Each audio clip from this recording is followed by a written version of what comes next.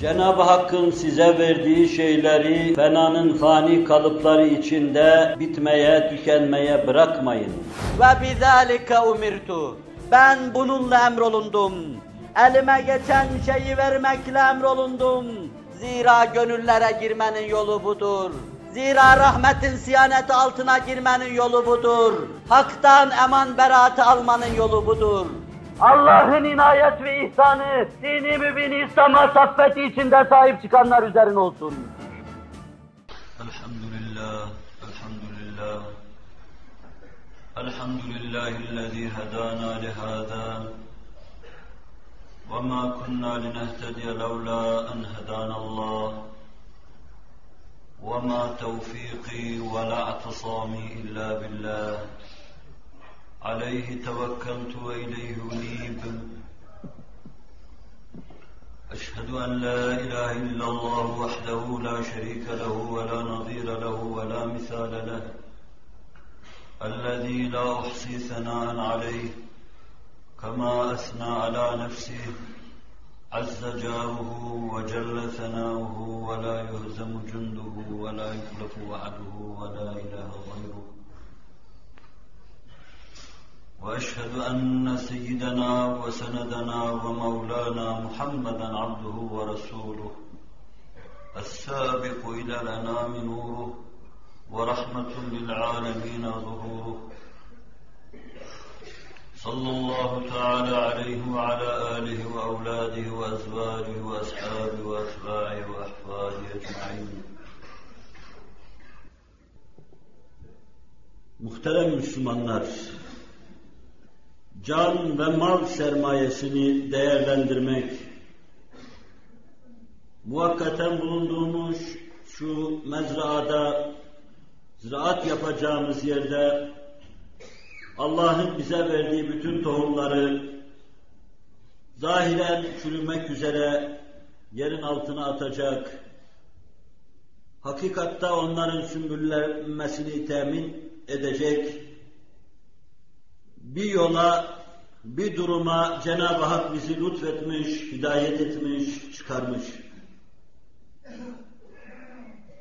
Burada iyi ve kötü, az çok, büyük küçük, kıymetli kıymetsiz, Allah yolunda vereceğimiz ve kullanacağımız her şey, bir bakıma toprağa gömülmüş bir çekirdek, bir habbe, bir tane gibi, Barında yüzlerce, binlerce sümbül ve başa yetiştirmeye müheyya bir ilk sebep, bir şart-ı adidir. Allah yapılan bütün hasenatı minimum olarak bire on lütfeder, onun inayetidir. Bir iyilik yapar, on mukabele görürsün. Ama malıyla Allah yolunda cihadın minimumu bire yedi yüzdür.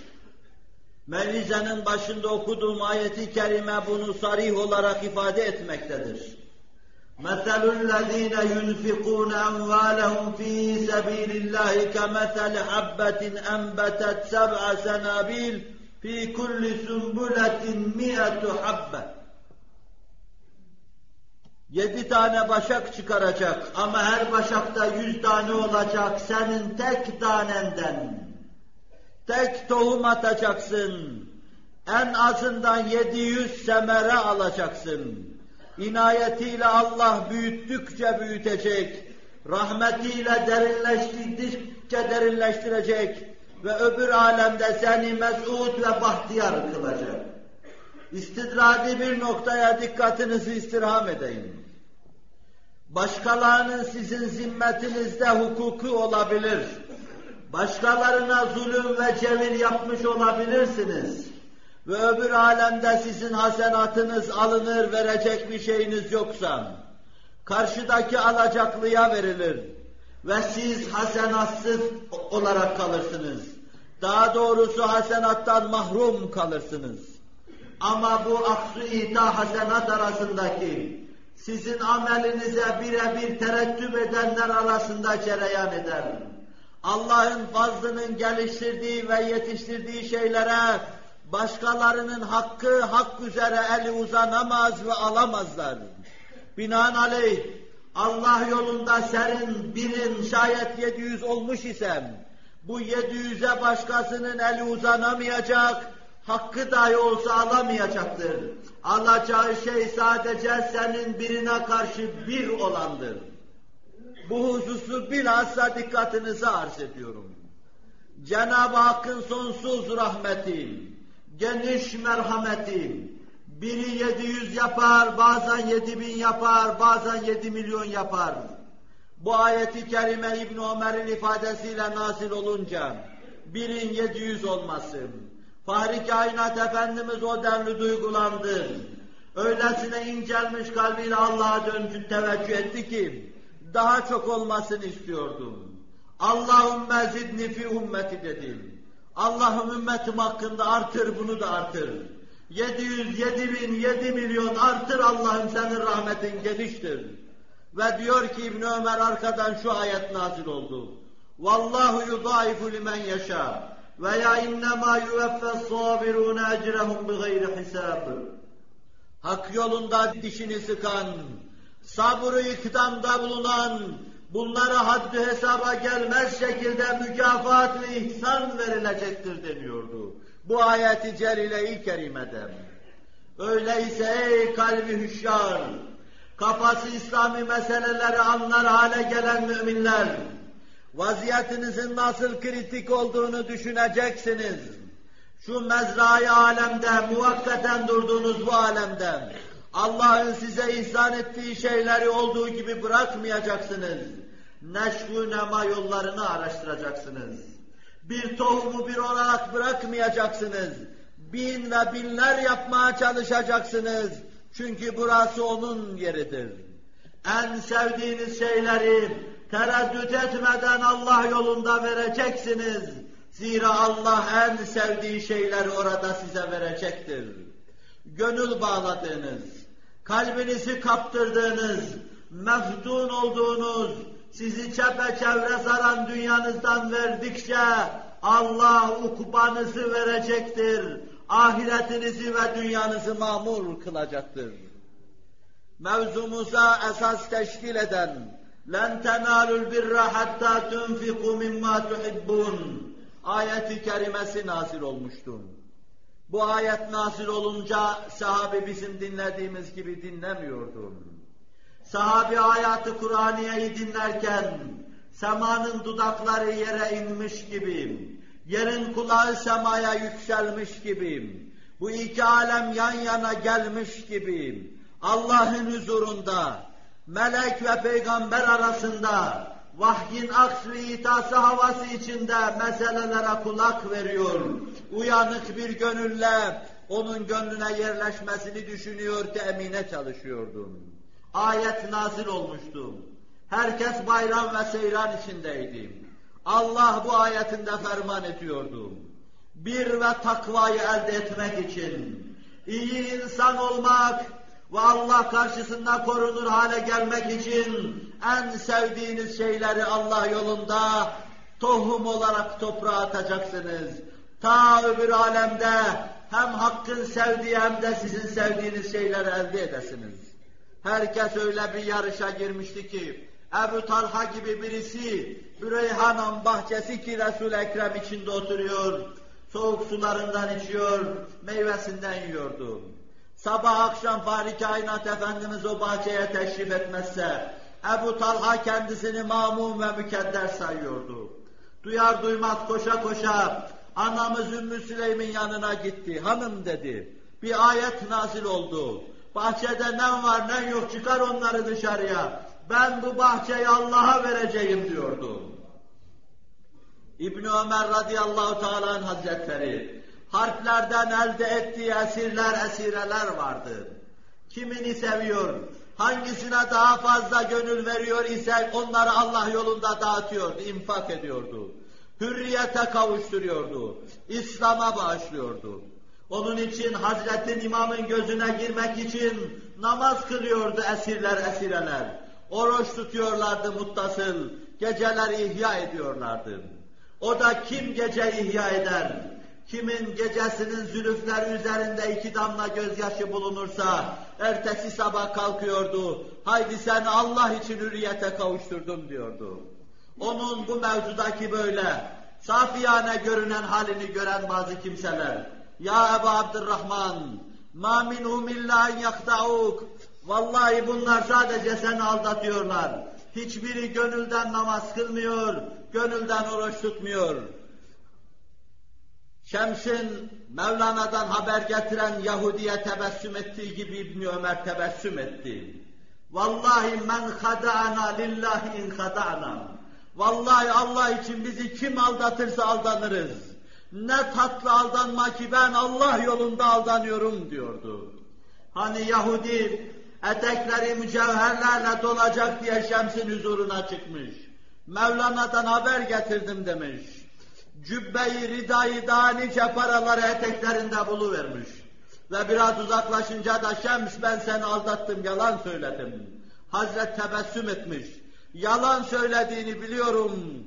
Ben bu meselenin Mevlana'dan gelen haberin yalanına verdim bunları. Doğru söyleseydin canımı verirdim ben bu işe.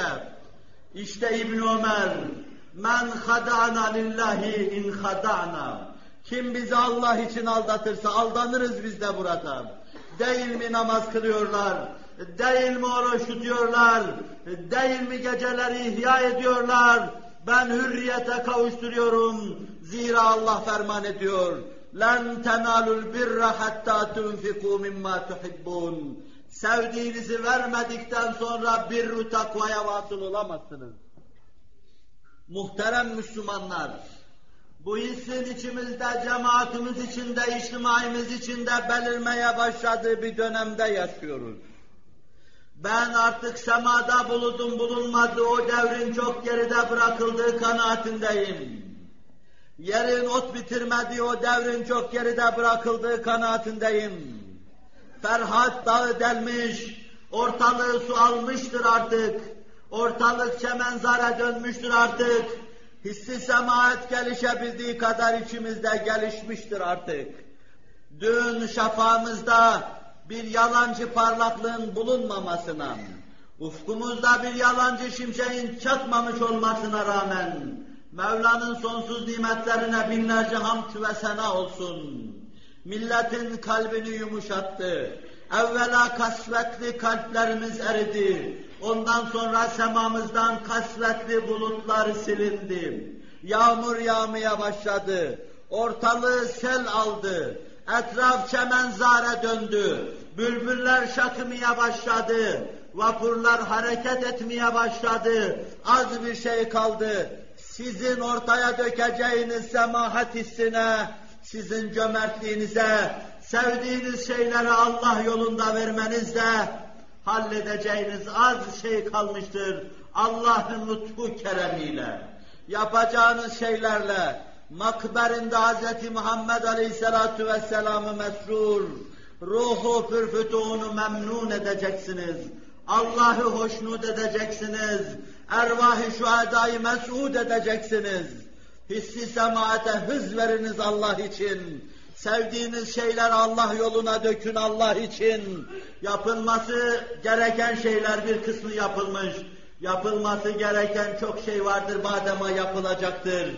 Bir an evvel tezelden bunları yapmak suretiyle çatımızı çatalım. Huzursuzluğa son verelim.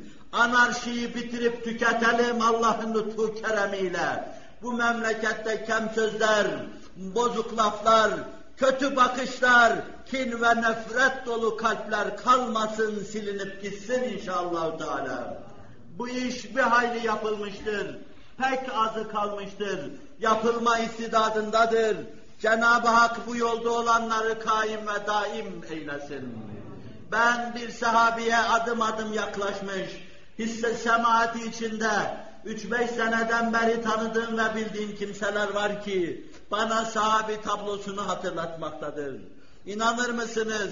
Bütün varını yokunu hizmete vakfeden yüzlerce insan vardır. Çocuklarına bir şey bırakmadan Ebu Bekir gibi onları Allah'a bıraktım diyecek kadar bu mevzuda cömert ve civan mert kimseler vardır. Haddim nedir? Benim boyuma aşkın olan bu mevzuda her şeyimi vermek istiyorum diyen niceleri vardır ki buna Mevlam şahittir. Onların da kalbine Allah şahittir. İşten mi söylüyorlar, dilden mi söylüyorlar? Karışamam işi Allah'a havale ediyorum. Ben her şeyimi vermek istiyorum. Senelerden beri oyaladığım arkadaşlarımız vardır. Ve bunları gördükçe içim peri ve fakur sevinçle doluyor, huzurla doluyor. Layık ve seni memnun edecek bir cemaat yetişmeye başladı. Sayende ya Resulallah diyorum. Sayende ya Resulallah diyorum. Yapılan iyilikler çürümedi, yok olmadı. Millet hatırlıyor, her şeyi biliyor. Mevla her şeye nigahbandır. Yapılan iyilikler denize atılsa bile Halik bildi, nemalandırdı ve geliştirdi. Bir nesil yetişti. Ebu Talha'nın arkasında, Ebu Dehtah'ın arkasında, Muaz İbni Cebel'in arkasında, Hüzeyfetül Yemani'nin arkasında bir nesil yetişti. Kollarımızı geriyor, önüne ve karşısına dikiliyor, ona diyoruz ki, hayır servetinin bir kısmını çoluk çocuğuna bırakman lazımdır. Onlara zulüm olur, onları halk arasında tekeffüf eder duruma getirmektense bir şey bırakman daha hayırlı olacaktır. Mevla'ya binlerce hamd ve sena olsun bunu gösterdi. Bataklık içinde İrem'in bağlarını yarattı Mevla bizlere. Semamızda şimşek yokken binlerce müterakim bulut gönderdi rahmet elinden. Bu samimi gönüllere bir lütuftu. Bu samimi düşüncelere bir lütuftu. Artık çok şey olmuştur. İşin azı kalmıştır. Gönüllerin huzura kavuşma işinin azı kalmıştır. İtminanı elde etmenin azı kalmıştır. Öyleyse ümit var olunuz. İçinizde inşirahla dolunuz. Hz. Muhammed Aleyhisselatü Vesselam'ın yolunda varınızda yokunuzda cihada koyulunuz. Cenab-ı Vacib-ül Vücud lütfedip başlattığı şeyi lütfedip bitirtecektir. Başlattığı şeyi hitama erdirecektir. Allah hitamı erdirsin. Bizde de sevinci doruğa ulaştırsın. Huzur dönemi, saadet dönemi, insanların birbirini öldürmediği dönem, kana girilmediği dönem, gözü dönmüş vahşilerin silindiği dönem, baştaki ve ayaktaki bunu idrak edecek herkes gönüllerin fethi meselesi gibi büyük bir mesele karşısında rükûa ve dize gelecek, hakmış ama aldanmışız diyecekler. Allahu Teala ve Tekaddes Hazretleri ite ite bizi ona doğru götürüyor. Binlerce gailenin altından kalkılmazlığın karşısında artık her kademede ve herkes, her seviyede ve herkes mesuliyet duygusunun insanlara telkininin büyük bir rükün ve büyük bir mesele halinde ele alınmasında ittifak halindedirler ve ısrardadırlar. Cenab-ı Vacib-ül Vücud semeresini ihsan eylesin. Ela inne ahsenel kelam ve eblegan nizam kelamullahil melikil azizil allam كما قال الله تبارك وتعالى في الكلام وإذا قرأ القرآن فاستمعوا له وأنصتوا لعلكم ترحمون أعوذ بالله من الشيطان الرجيم. بسم الله الرحمن الرحيم. يا أيها الذين آمنوا أنفقوا مما رزقناكم من قبل. من قبل أن يأتي يوم لا بيع فيه ولا خلة ولا شفاعة. والكافرون هم الظالمون. صدق الله العظيم. بارك الله لنا ولجميع المؤمنين. İbadallah, Allah'ın kulları. İttakullâhe ve ati'ûh. Sizi yaratan Rabbinize karşı çok saygılı olun. Rabbinizden çok korkun. Rabbinizin himayesine girin ve Rabbinize itaat edin. İnna Allah ya'muru bil adli vel ihsani ve ita'i zil kurba. Muhakkak Allah adaletle emrediyor. Kur'an'da tarif edilen hayat tarzıyla, Fahri Kainat Efendimizin tercüman olduğu hayat stiliyle emrediyor. en geniş manasıyla ihsanla, Rabbinizi görüyor gibi kulluk yapmakla, siz görmeseniz dahi o sizi görüyor, her halinize nigehban bulunuyor ya. Ve yine en geniş manasıyla yakınlarınıza bir şey vermekle, yüksek olan İslam dininin kendi memleketinizde, kendi semanızda, kendi ufkunuzda şehbal açması istikametinde servetinizi sarf etmekle size emrediyor. وَيَنْهَا عَنِ الْفَحْشَاءِ وَالْمُنْكَرِ وَالْبَغِيِ يَعِذُكُمْ لَعَلَّكُمْ تَذَكَّرُونَ Ahlaksızlığın her çeşidinden, gizlisinden, açığından, büyüğünden, küçüğünden, dinin emirlerini tanımayıp serkeşliğin, baş kaldırmanın her çeşidinden, anarşinin, huzursuzluğun, fevzanın her çeşidinden, falanın filanın değil, İslam'ın, Kur'an'ın, sahibi Kur'an'ın çirkin gördüğü her şeyden sizi nehyediyor. Böylece size nasihat ediyor. Ta düşünesiniz, kendinize gele kendinizi tanıya, kendinizi bulasınız. Emn-i eman içinde yaşaya, emniyetle cennete dahil olasınız. Akimis salat. إن الصلاة تنهى عن الفحشاء والمنكر ولذكر الله أكبر والله يعلم ما تصنعون صدق الله العظيم